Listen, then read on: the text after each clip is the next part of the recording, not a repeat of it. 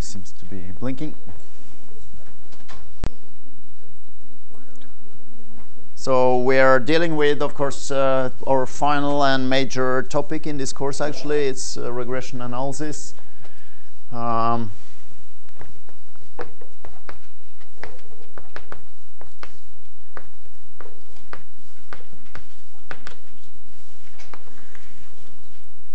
okay.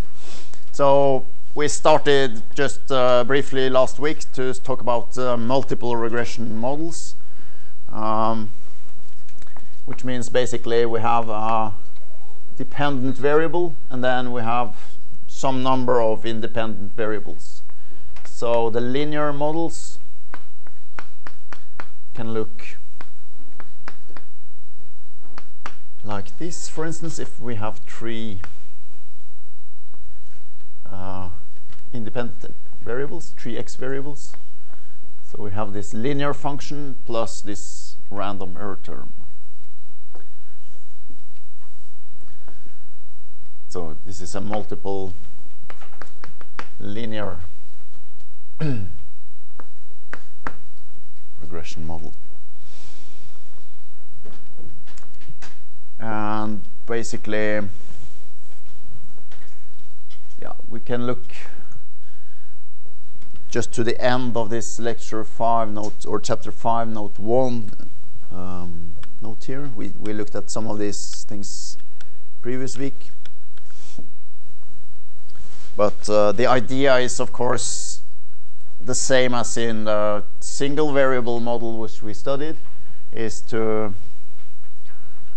to look at some data and then try to to find values for these uh, parameters that gives us the best linear function that sort of explains the relation with these x data here and the y data here. So we want to express this guy as a linear function of these and based on a set of data we uh, can make our estimates. Um, this part is, is mathematically actually simple, although it looks slightly nasty. Um, we are doing exactly the same as we did with the single variable model, only the problem now it's very difficult to draw a picture because to draw a picture of this relation here, it's a function y that is a function of three other variables. So you would have to have a four-dimensional um, coordinate system. And if you can draw that and understand it, you probably have taken some strong drugs or something. So while it's very easy to take this picture here, here is my x data and my y data, and I know that some of these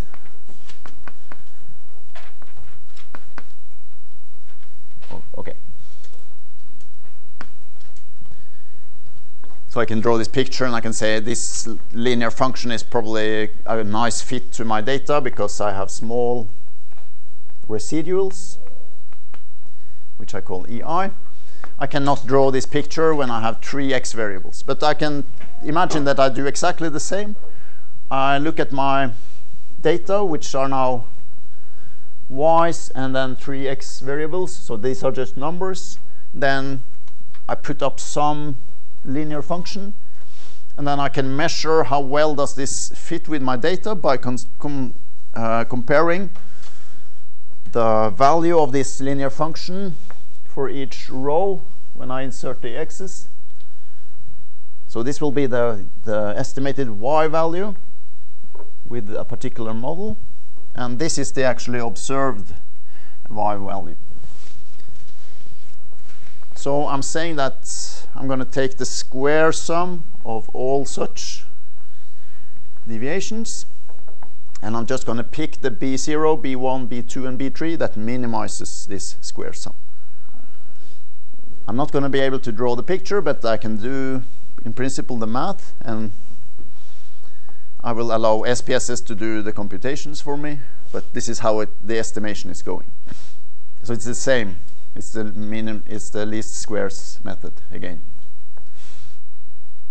And we're still going to call SSE is the sum of squares of the residuals when this is minimized, right?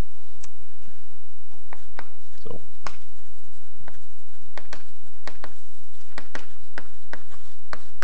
So the coefficient estimates that I get, I mean, these are theoretical parameters, but these are particular estimates. They come from minimizing this sum. Okay. So we're not going to do any calculations like this. We're going to leave everything to SPSS, but it's good to know what's happening. Um, So what we're actually going to do, which might be a bit frustrating for you maybe, but we're going to focus mainly on what are the problems now, or what is difficult with uh, multiple regression. We're not going to focus on what is the same as before mainly. Um, so while it's it's quite simple usually to interpret coefficient estimates in a single regression model like this. We can have some trouble with this when we go to a multiple uh, regression model. And this comes mainly when you have correlation between the x variables here, as we will see some examples of. So let's see, maybe I can do just a few small examples.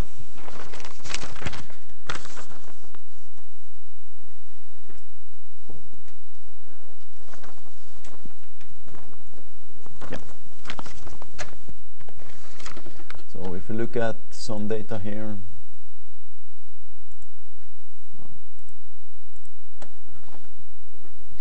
uh, this is typically at some kind of data that you might want to use a linear regression or at least some regression analysis to analyze. So it's the prices of used cars.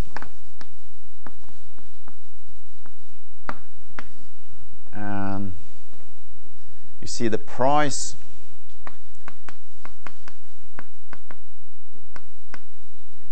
this is selling price in x thousand Norwegian kroner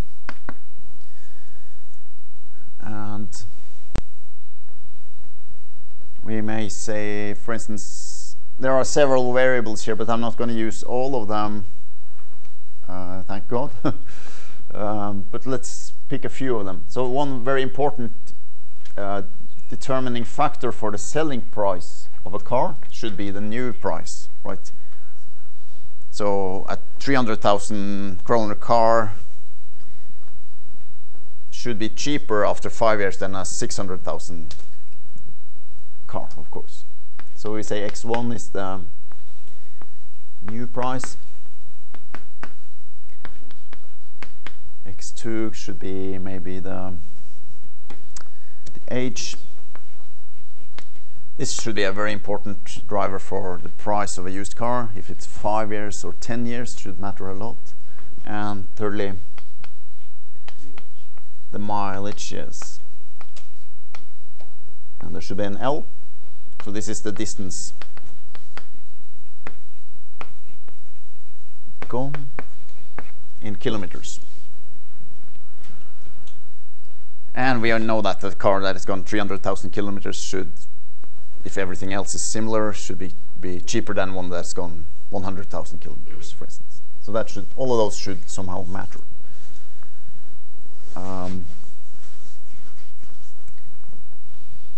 so let me show you first, this is partly to show you multiple regression in SPSS and partly to show you problems with correlation. So um, me look at the sequence here.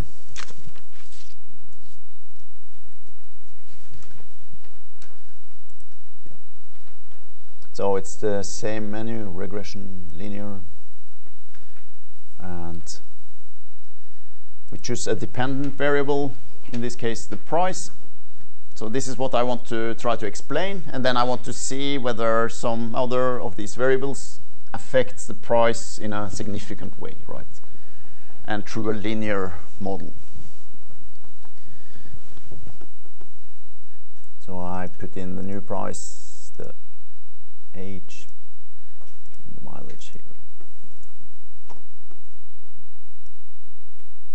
And I I might want to see some confidence intervals, right? Um, so what we are going to get from SPSS are now,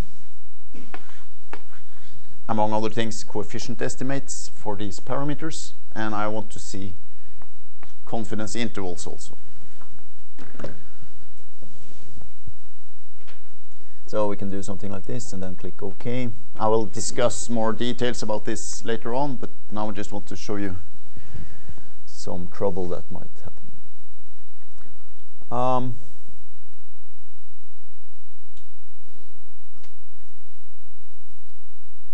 yeah, so this looks good. You get an R square that is in like 99%. So we're explaining a lot of the price with these three variables. Um, here is the coefficient output. Let's see, what do we get?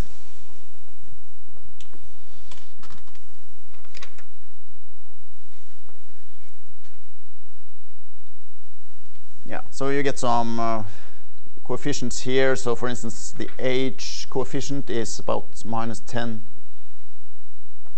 in this estimate. So that means in isolation, another year strips in this model 10,000 of the price. And here is the coefficient for the mileage. So another 1,000 kilometers in this representation uh, reduces the price with uh, what would that be? Some 130 kroner or something. It's not important, but uh, you can interpret these figures in that way.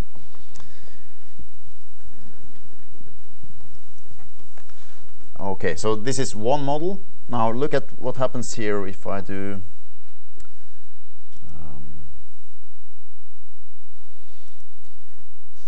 the same, I just kick out the age variable here now.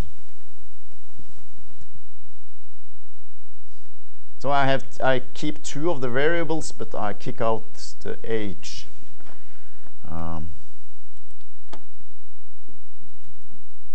and we get a new regression. Now you see the we kick out something that is probably an important uh, factor for the price. So our R square drops to 90%. So we lose a lot of uh, our explanatory power, as it's called. But something else also happens.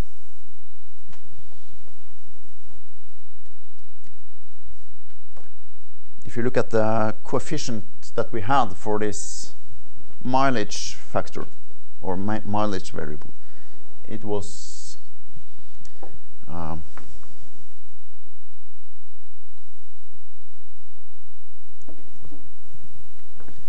so if I say this is B3 in model number one was about minus 1 point or 0 point um, say 13 while the estimate in the second model is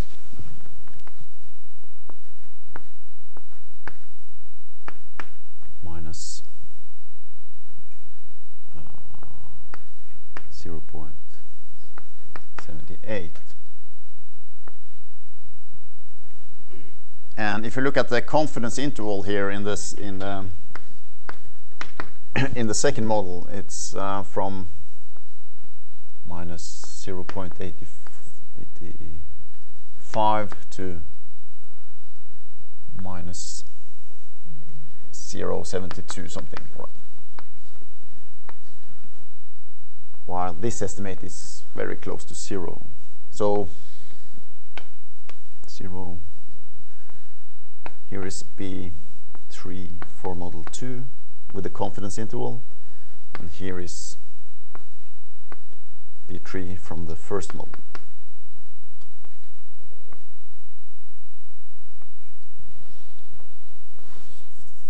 Um, so what I'm trying to say now, and if you look at the confidence interval in this first model, it will look probably something like this. So this tries to say that my beta tree is here, and the other one tries to say that the beta tree is here. And those two pictures don't go along. So what is actually going on here is that those betas that I usually we put the same letter there, but they are different parameters really. Because this is supposing that we don't consider age in the model, while this is um, no, it was the, the opposite. So this is without age in model, and this is with age.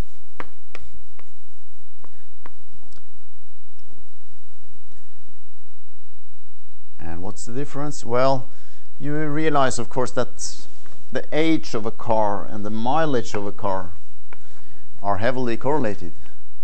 Okay? We can even check that since we have SPSS. Um, correlate bivariate the age and the mileage is about 0.88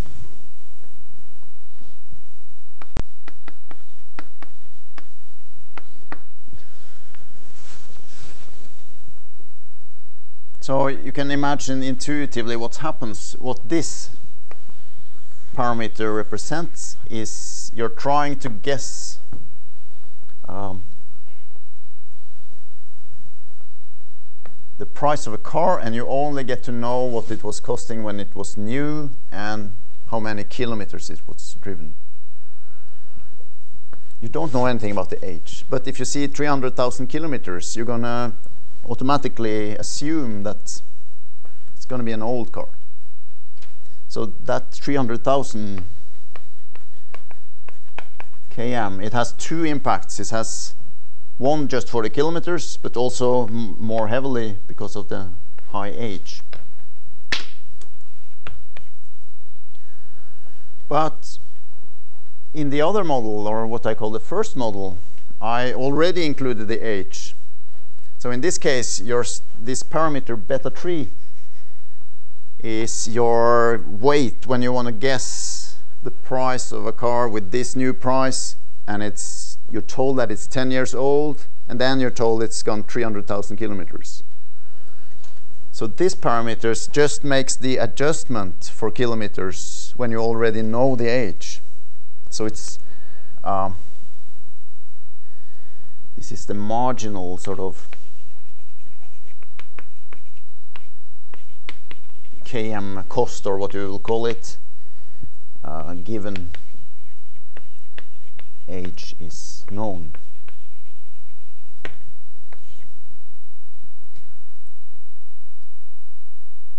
So in this case, this estimate doesn't sort of uh, include anything about the age because the age is already known in a way. So it's just a correction for a 10-year-old car if it's gone 200 or 300,000 kilometers. Of course, there's a correction, but it's not that huge. But if you only get to see the 200,000 or 300,000 kilometers, you're to have to guess that the 300,000 kilometer car is a three, four years older than the 200,000 kilometer year. So the price impact of the coefficient here is much higher. So I'm not sure if this uh, makes uh, or, or if it's completely clear what I'm saying here, but this is what you want to see a lot in multiple regression that uh, coefficient estimates they will change very often when you add new variables to the equation right So it's not possible to, to in isolation to say what is the extra um, value loss for another thousand kilometers. You have to see that in relation to what other variables you're discussing in the model. So this is what I'm saying. Uh, we are focusing somewhat on problems, not discussing what is easy. It's really easy to run regression analysis with 10 variables, for instance, but it's not so easy to, or this correlation with x variables causes some problems. Right. So this is basically where I wanted to stop last week, I guess. Um,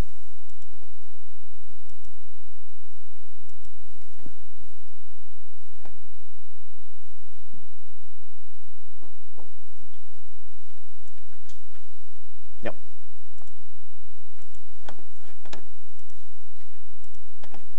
So let's look at the next one and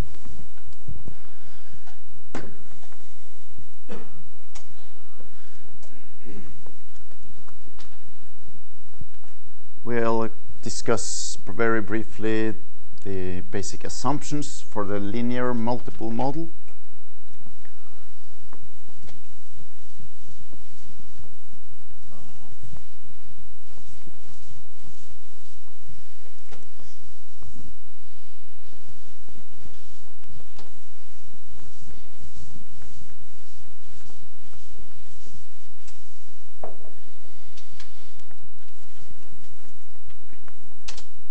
Okay, so if you look at A, B, C, and D, they are just perfectly the same as before. There is, um, well, it's basically assumptions on this error term all the way. So it's going to be normally distributed. It's going to be having the same standard deviation independent of the x variables and so on. Now, the new thing is this E condition. And this says simply it's very related to the problem that I just showed you, but it's it sort of tries to strip away the most extreme case of that. So it says no variable can be a linear function of the other x variables. So no, supposing xi is, or x2 is 3 plus 4 x1 minus 7 x2 then x2 is a linear, or oh, say x3. Then x2 is a linear function of the two others, and this is going to ruin the regression procedure because it's not going to be possible to determine the coefficient estimates actually. So I have a small example just to show you what happens if you violate this thing. And you can either appreciate it or ignore it, I guess. But um, it's just to explain what, what really happens and why we need this assumption.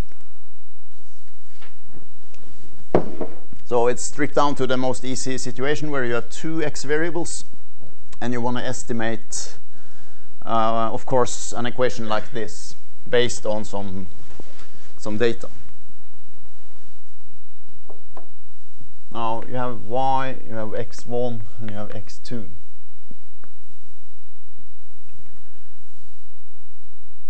Um, so suppose y is, uh, I can be whatever, 7, 4, 19, 21. x1 is 2, 4, 6, 4. And the condition E would be violated if this variable was a perfect linear function of this one.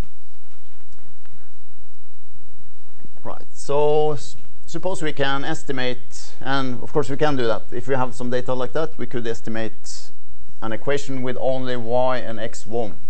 So you run this in SPSS and you find easily 8 plus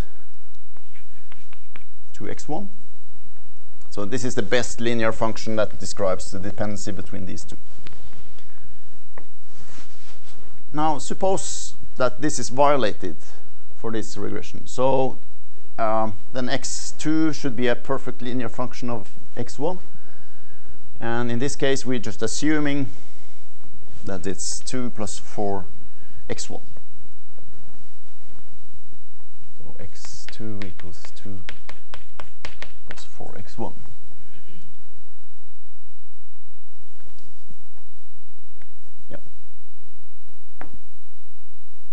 So this means in practice then that the data here are not independent of these at all. So we can actually calculate this variable based on knowing this one. So it should be 2 plus 4x1. If this is 2, it's 8. So it should be 10. If you insert 2 here, if you insert 4 there, you get 16 plus 2, it's 18. If 6, 4 times 6 is 24 plus 2 is 26. And then 18 again. So, and you might have this data, but now this is perfectly a linear function of this one. Okay. So this is yeah, and I, I want um, so we want to determine the coefficients for the original model here, right? So we want some parameters that will give me this.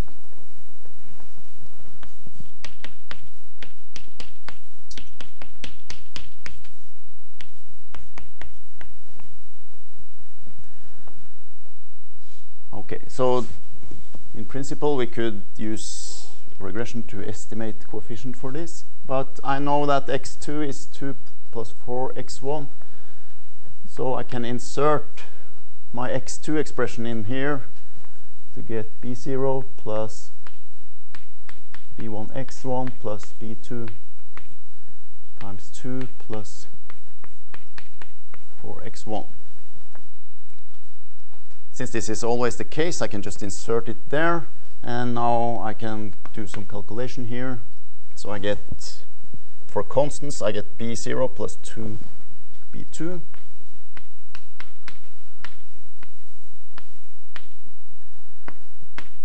plus, and then there's now only one x variable left because I eliminated x2 from here. So it's b1 plus 4b2 times x1.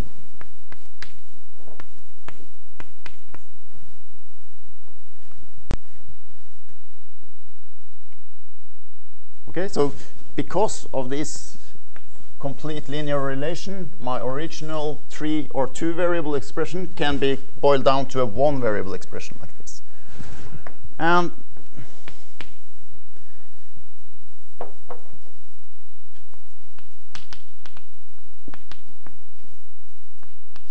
my SPSS estimation when I used only this variable was was this one.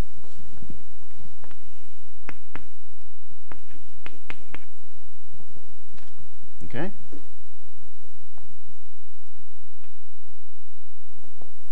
So I kind of know the best linear relationship between x1 and y is this one.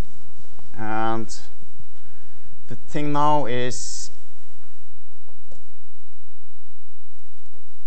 if I can sort of make b0 plus 2b2, this is the constant term in the in the two variable expression here if this is equal to 8 and b1 plus 4b2 is equal to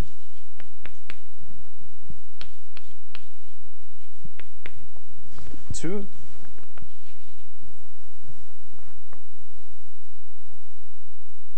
Um,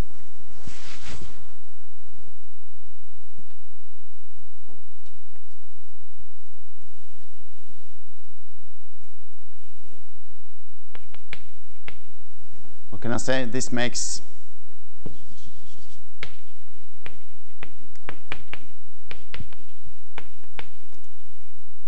one actually the same model. So what I'm saying in a slightly awkward way here now is that any choices of the three parameters here that satisfies these two equations will give you in practice the same equation up here, right? So they look different, but they are actually the same because they all expresses y as 8 times 2 plus x, 2 times x1. And then the issue is there are um, an infinite number of different choices of parameters that does that for me. So I have a few examples here.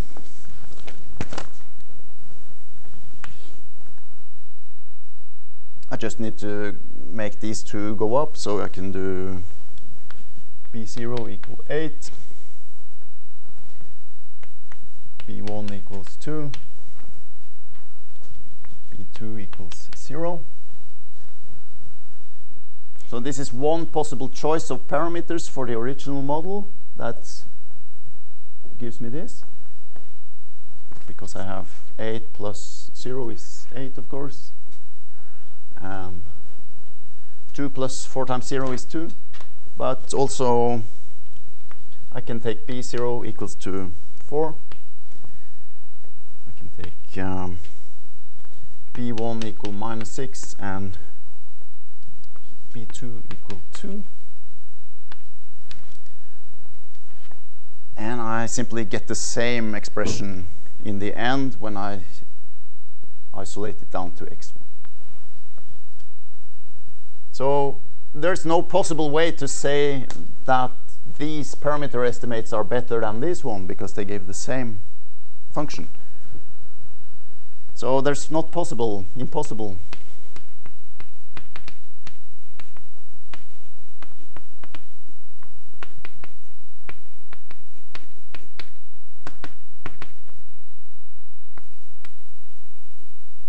I'm writing like a pig, parameters.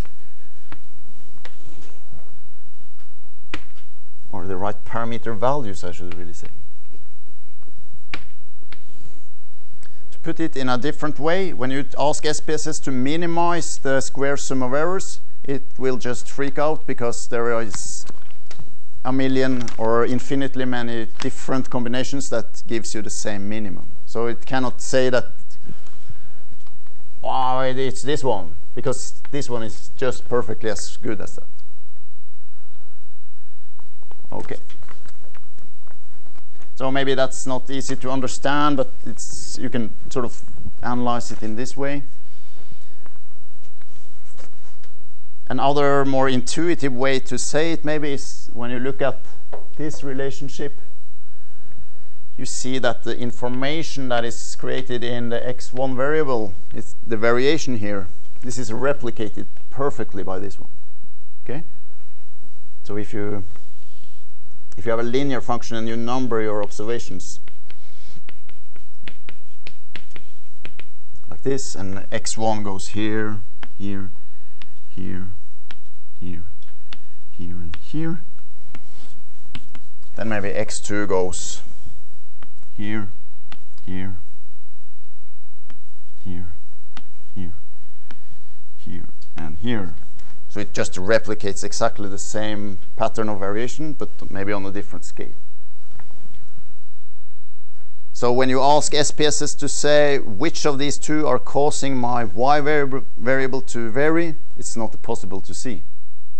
Because you can say it's all because of the x1, or it's all because of the x2, or it's half of each. Not possible to say. So that's why we need this additional assumption. And this is also related closely to the problem um, that we get when they are not perfectly co correlated like this. This is 100% correlation. And that's illegal. But if you have like 90% correlation,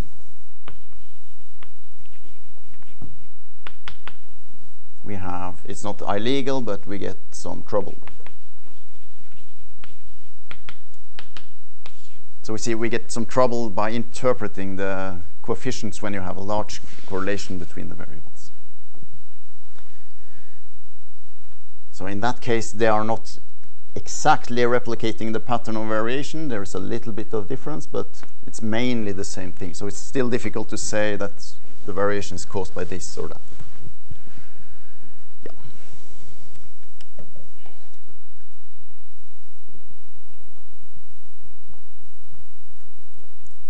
So the solution, of course, if you have complete linear dependency between variables, you just have to kick something out. Um, and you, in this case, you use only x1 or only x2, and you get the, basically the same model of the world. Yeah.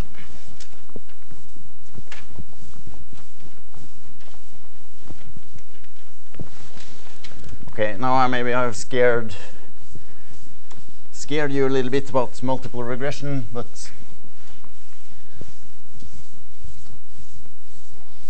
this is maybe the most difficult part of it in in one way. So um,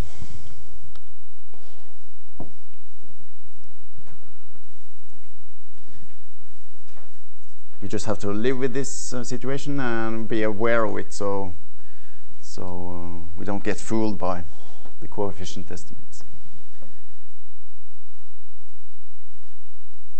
All right, so in real life, when you see something that is 100% correlated in your data, you just eliminate some of them. But in practice, you have something that is not 100%. Um, and you just have to deal with it. Sometimes things are correlated because they are related to the same uh, aspect of something. For instance, the mileage and the age of a car, it's somehow related. So you might make a combined index or something that measures this underlying thing. But we have to think about correlation all the time when we do multiple regression.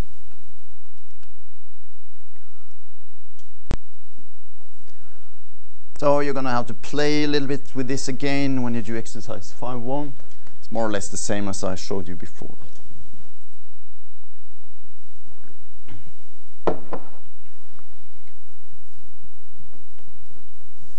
And as yeah, this is what I showed you in the beginning. These two models are very different. So when you write beta 3 here uh, as the coefficient for mileage, it's something different in these two models, even though it represents the same variable here. Yeah. So there's a moral in this that's summarizing just what I've said, basically.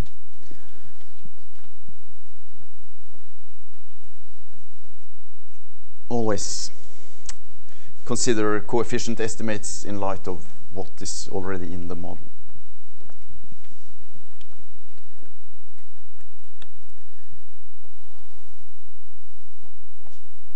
Okay, so that's uh, end of the horror, maybe. um, what we do in SPSS, well, as I showed you, it's the same menu. You now specify one dependent, the y, and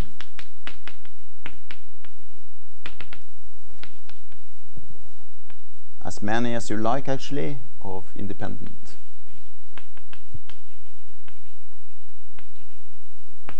variables. And basically we're gonna, I mean, if you want to estimate the model with all of these variables, you choose the method called enter. And then the output is essentially the same. You get the coefficient statistics. That's the beta estimates. You get this ANOVA thing that we are going to discuss a little bit. It's the same as before with the square sums and you get a model summary which consists of the R square and the, the estimate of this, uh, well, the SE thing. It's the estimate of this, the standard deviation of the error term. So we're going to take it in turn as it comes. Um,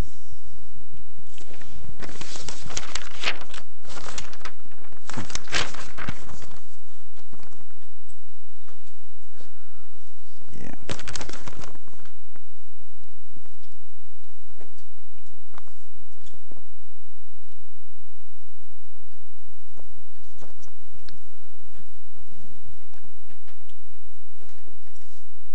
So maybe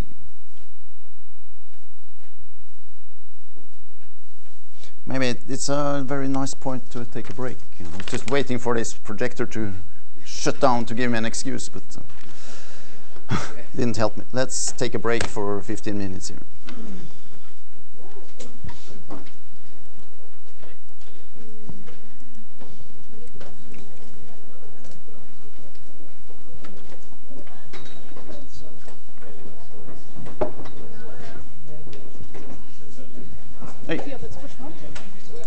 Stoppe videoen.